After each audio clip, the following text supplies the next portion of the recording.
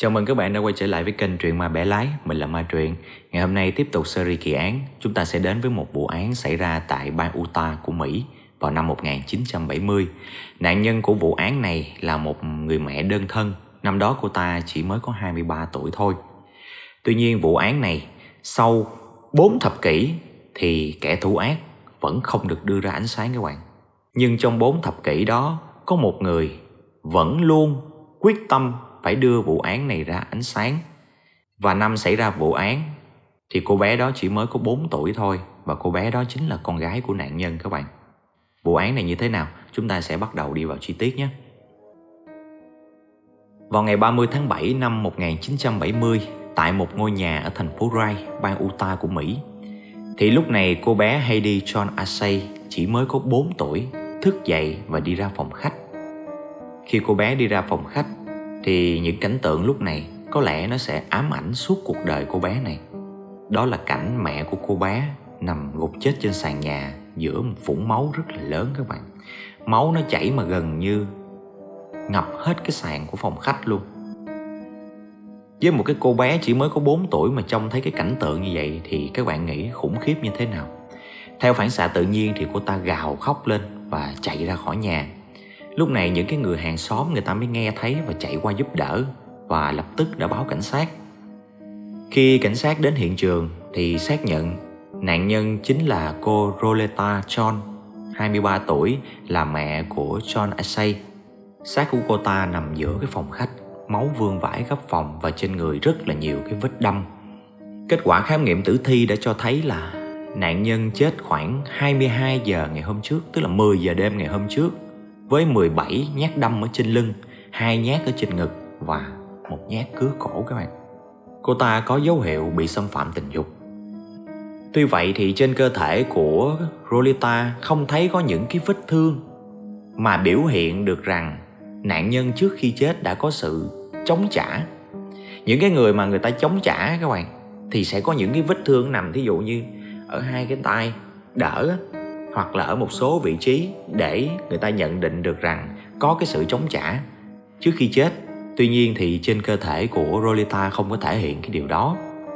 Và ngôi nhà cũng không có dấu hiệu bị xáo trộn gì nhiều, không có dấu hiệu bị đột nhập. Khóa cửa không có bị phá, đồ đạc thì không mất thứ gì các bạn. Chứng tỏ khả năng đây không phải là một vụ giết người cướp của, mà hung thủ và nạn nhân có thể là người quen biết của nhau. Lúc này thì cái việc mà lấy cái lời khai của một cô bé mới có 4 tuổi thì rất là khó với cảnh sát các bạn. Họ chỉ thu thập được thông tin là cô bé nói rằng khi cô bé ngủ thì không nghe được tiếng động gì hết. Nguyên một cái vụ giết người xảy ra ở phòng khách kế bên cái phòng ngủ nhưng cô bé lại không nghe tiếng động. Thì cảnh sát cho rằng có thể cái lúc mà bị hành hung thì người mẹ đã cố gắng giữ im lặng, không phát ra tiếng kêu bởi vì cô ta sợ rằng khi mà phát ra tiếng động mà con gái của cô ta bước ra thì có thể sẽ là nạn nhân tiếp theo cũng bị giết luôn. Cho nên dù bị hành hung đến chết thì cô ta vẫn cố gắng im lặng để bảo vệ con gái mình. Cảnh sát suy đoán là như vậy. Và qua khám nghiệm tử thi thì người ta thấy cái vết dao đâm trên người của cô Rolita nó thuộc về một cái con dao xếp, dao cá nhân thôi, nhỏ, lưỡi mỏng các bạn nhưng không tìm được hung khí ở ngay tại hiện trường. Trên người của nạn nhân cũng còn vương lại cái uh, mẫu tinh trùng của kẻ thủ ác nữa. Nhưng mà năm 1970 thì cái công nghệ ADN nó còn quá là sơ khai, thô sơ đi. Cho nên không giúp gì được cả. Không có dùng ADN để tìm ra thủ phạm được. Chứ nếu mà ngày nay là nhanh gọn lẹ luôn rồi. Cái ngày hôm đó, vào lúc 21 giờ là trước khi xảy ra vụ án một tiếng, thì người dân cũng có báo có một vụ một bé gái khác suýt bị bắt cóc. Khi cô ta đang đạp xe ở ờ, trước cửa nhà mình thì có một người đàn ông lạ tới bịt miệng cô bé và có hành động giống như định bắt cóc cô bé.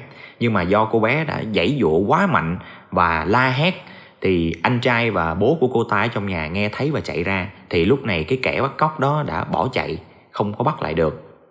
Thì cảnh sát qua cái chuyện này lại có một cái nhận định rằng có thể thủ phạm là cùng một người, bởi vì cùng một cái địa điểm. Trong cái khu phố đó, cái khung giờ chỉ cách nhau có một tiếng đồng hồ thôi và đối tượng là nhắm tới nữ. Thì khả năng là một người.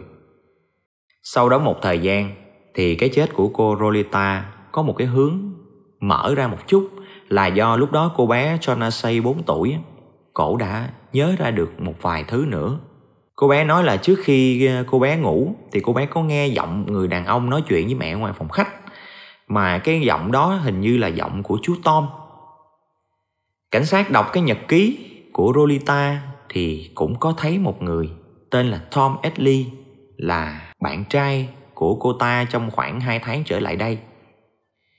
Lúc này cảnh sát mới đến làm việc với lại Tom Edley, người mà hẹn hò với ờ, mẹ của John Asay. Thì hắn ta nói rằng đúng là hắn ta có cái mối quan hệ tình cảm với lại Rolita, nhưng mà cái ngày xảy ra vụ án thì hắn không có mặt ở đó. Hắn đi ăn chỗ này đi uống chỗ kia hay làm cái gì hắn kể hết cho cảnh sát. Và hắn nói là hắn có tới cái quán bar tên gì đó. Thì khi cảnh sát tới cái quán bar đó thì những cái người phục vụ ở đó người ta cũng xác nhận là hắn có tới quán bar này. Nhưng mà không nhớ tới lúc mấy giờ. Và lúc đó hình như trên áo cũng có mấy cái đốm đỏ. Nhưng mà do đèn ở quán bar các bạn nó cà chớp cà tắt cà chớp cà tắt đâu có nhìn rõ được. Tất nhiên những cái lời khai này cũng không giúp ích gì được nhiều cho cái vụ án hết. Tuy nhiên, cảnh sát cũng đã đưa Tom Edley tới đồn cảnh sát để xem có liên quan đến cái vụ án bắt cóc không. Cho nên là để hắn vô một cái phòng phòng kiến các bạn mà nó là kiến một chiều. Có nghĩa là ở trong đó nhìn ra ngoài thì không thấy nhưng mà ở ngoài nhìn vô trong thì thấy rõ lắm. Hắn sẽ đứng với một vài kẻ tình nghi nữa rồi cho cái cô bé mà đang đạp xe đạp suýt bị bắt cóc á, tới nhận diện. Thì khi vừa mới nhìn một cái thôi là cô bé đã chỉ ngay mặt Tom Ashley liền các bạn. Nói rằng đây chính là cái kẻ mà đã suýt bắt cóc cô bé đó. Thì sau đó thì Tom Ashley cũng nhận tội nhưng mà hắn nói là lúc đó thấy cô bé này dễ thương chỉ muốn đùa một chút xíu thôi chứ không có ý định bắt cóc phân trần thế này thế nọ trên tòa tuy nhiên thì hắn vẫn bị kết án nhưng mà án nó cũng nhẹ các bạn chỉ đi tù có 90 ngày thôi vì cái tội bắt cóc không thành à, gây rối trật tự xã hội gì đó thì ở tù 3 tháng rồi đi ra thôi và cảnh sát cũng không có chứng minh được là hắn có liên quan gì đến cái chết của ờ, người mẹ trẻ Rolita hết. Và cứ thế vụ án qua 4 thập kỷ thì nó vẫn rơi vào bế tắc. Đến năm 2009 thì lúc này cô bé Shonasay đã 43 tuổi rồi. Cô ta cho biết rằng là trong suốt 4 thập kỷ không đêm nào cô ta ngủ ngon được. Lúc nào cũng sợ rằng Tom Edley sẽ quay lại trả thù và giết chết cô ta. Cộng với lại cái nỗi ám ảnh khi mà chứng kiến cảnh mẹ mình nằm chết trong vũng máu như vậy làm cho cô ta khó mà có thể an tâm, tinh thần ổn định trong cuộc sống được. Năm 2009 thì cô ta vẫn nuôi cái ý chí quyết tâm phải tìm ra thủ phạm và may mắn đến với cô ta khi cô ta thuyết phục được một người bạn học thời trung học lúc này đang là cảnh sát. Anh ta tên là Brewer và may mắn rằng Brewer cũng đồng ý đồng thời thuyết phục sở cảnh sát của mình đang làm việc á, lật lại cái vụ án này một lần nữa. Khi lật lại vụ án này thì chỉ có những cái dữ kiện là từ những ký ức của John Essay từ hồi còn 4 tuổi cộng với một số hình ảnh chụp hiện trường và những bài báo của năm 1970 thôi, chứ cũng không có cái gì nhiều hết. Cảnh sát bắt đầu mới điều tra những cái người bạn gái cũ của Tom Edley. Tom Edley thì thời trẻ rất là đẹp trai và cũng là một kẻ bay bướm các bạn.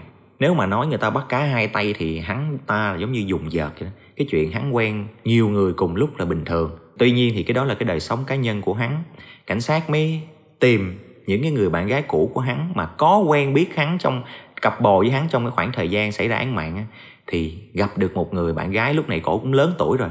Cổ kể rằng, cái ngày hôm đó nó cũng có một cái điểm đặc biệt, đó là hắn đến nhà của cô ta để ngủ lại rất là muộn. Nhưng mà khi vừa đến nhà thì hắn đi thẳng vào phòng tắm để tắm rửa và tự giặt đồ luôn. Cái điều đó cổ nói là rất là lạ, tại vì từ lúc yêu đương với hắn, chưa bao giờ thấy hắn tự giặt đồ hết, toàn là đưa bạn gái giặt cho không điều này cũng là một cái điều để khẳng định lại cái nghi ngờ là hắn là nghi phạm lớn. Sau đó cảnh sát lại tìm gặp Tom Edley một lần nữa.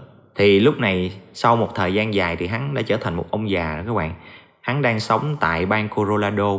Cách cái điểm gây án là cái bang Utah 800 cây số lần. hắn đã trải qua ba cuộc hôn nhân và có năm người con. Tuy nhiên thì hắn bây giờ vẫn đang sống một mình. Khi cảnh sát tìm đến thì hỏi thăm thì giống như, bởi vì à, khúc này hắn cũng sáu, chín tuổi rồi. Thì tỏ ra là lú lẫn, không nhớ nổi tên bạn gái. Hắn nói là nhiều quá, hắn nhớ không có nổi. Nhưng mà khi nói về cái đêm xảy ra án mạng, thì hắn lại nhớ từng chi tiết là đi đâu, ăn cái gì, đến chỗ nào. Lúc mấy giờ là hắn lại nhớ rõ luôn các bạn. Và khi cảnh sát chơi một cái đòn tâm lý, hỏi hắn rằng, nếu mà bây giờ tìm ra được hung thủ mà giết bạn gái của ông, thì ông nghĩ cái mức án dành cho hắn là sẽ như thế nào? Thì lúc này hắn lại trả lời là, nếu mà trong bốn chục năm qua mà hắn không có phạm lỗi gì nữa, thì thôi tha cho hắn đi.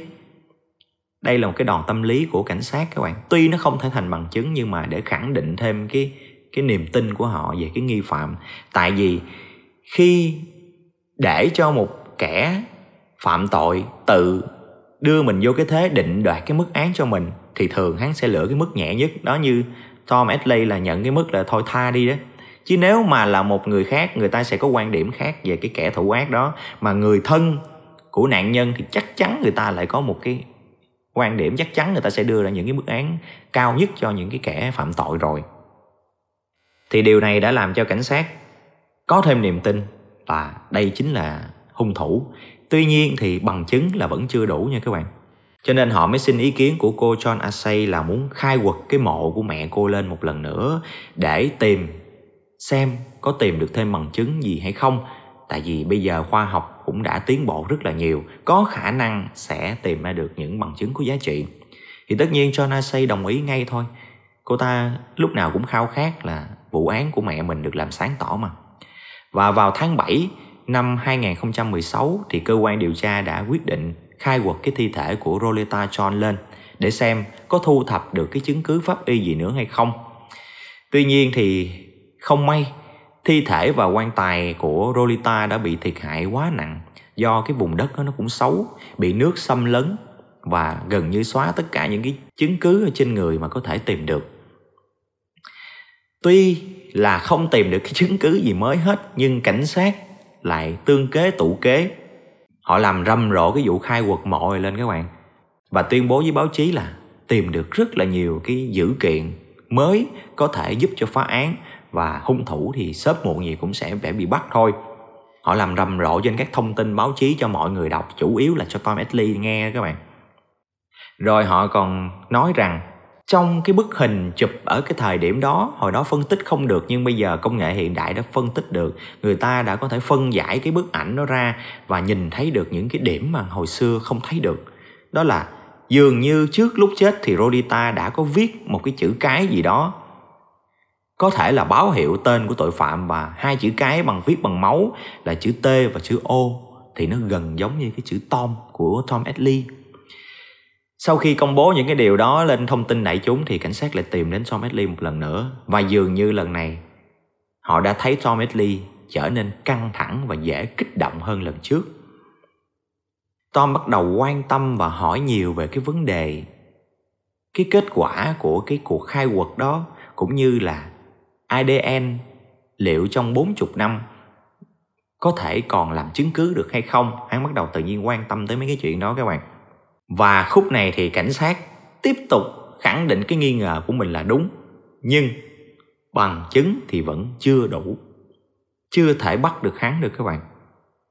Trong cái lúc mà dường như mọi cố gắng nó cũng đang sắp sửa bị tan thành bọt biển, thì có sự xuất hiện của một người hàng xóm của Tom Edley ở cái thời điểm hiện tại cô ta tên là Lisa Carter cô ta gọi điện cho cảnh sát và nói rằng Mấy bữa nay tự nhiên Tom Edley nói chuyện với cổ rằng nếu lỡ mà Tom Edley có đi đâu xa thì có thể nhờ cổ giúp uh, ngó ngàng cái căn nhà và cho mấy con thú cưng của ổng ăn được hay không. Thì điều này cảnh sát đã suy đoán rằng nó sẽ diễn ra hai trường hợp. Một là hắn đang định bỏ trốn. Hai là có thể hắn đang định ra đầu thú. Thì chắc chắn cả hai trường hợp đều không ở lại nhà được và nhờ cái cô hàng xóm này chăm sóc cho thú cưng của ổng ở nhà và để có thêm nhiều chứng cứ, thì cảnh sát đã đề nghị cái cô Lisa Carter này giúp đỡ bằng cách là gì họ đeo lên người cổ cái thiết bị nghe lén và nhờ cổ rằng mỗi ngày qua tâm sự với Tom Edley và hỏi những cái chuyện quá khứ để xem hắn có sơ sẩy hay lộ ra những cái à, tình tiết gì đó có liên quan đến vụ án cách đây 40 năm hay không. Thì cái cô Lisa Carter này cổ đồng ý các bạn. Và cứ như vậy, mỗi ngày cổ đều qua nói chuyện, tâm sự với Tom và hứa rằng nếu mà anh đi đâu thì tôi cũng sẽ có nhà dùm cho, rồi tôi canh ờ, mấy con thú cưng cho, không để nó chết đói này nọ đâu. Tạo sự gần gũi các bạn. Rồi nói chuyện, hỏi về thời quá khứ, hỏi có những cái gì mà gì còn khúc mắc hay ân hận gì không. Đó là cái cách tâm sự của cổ.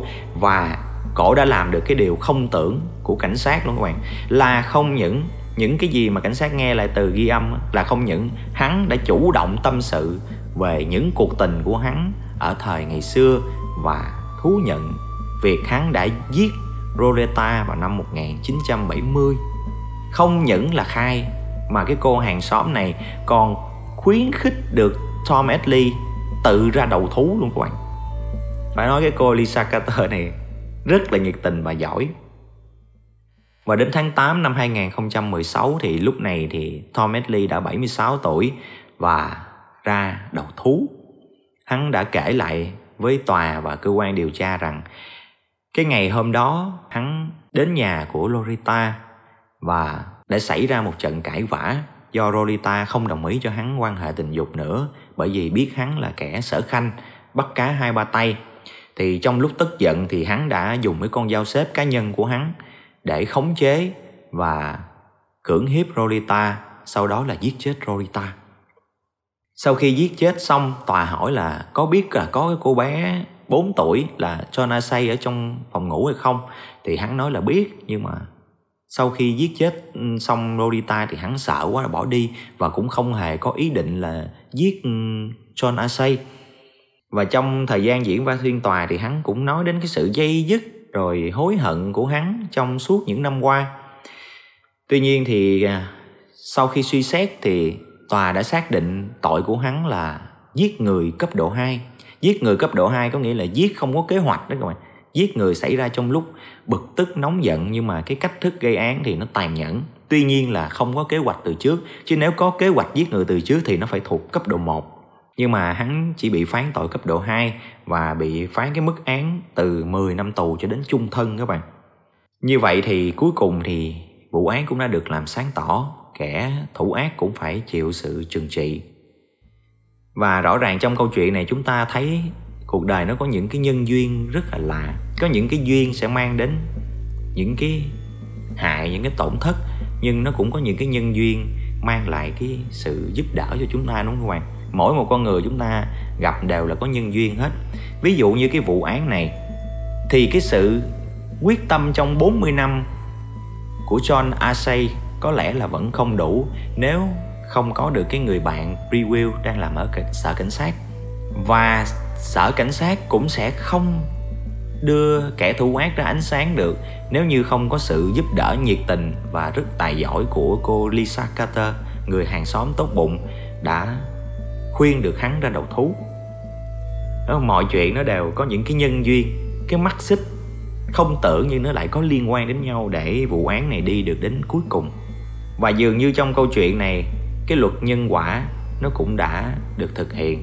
Dù là tây hay ta châu âu hay châu á gì thì theo mình nghĩ thì luật nhân quả nó vẫn tồn tại các bạn một ngày một tháng một năm không phát hiện ra thì bốn chục năm cũng phát hiện ra đó.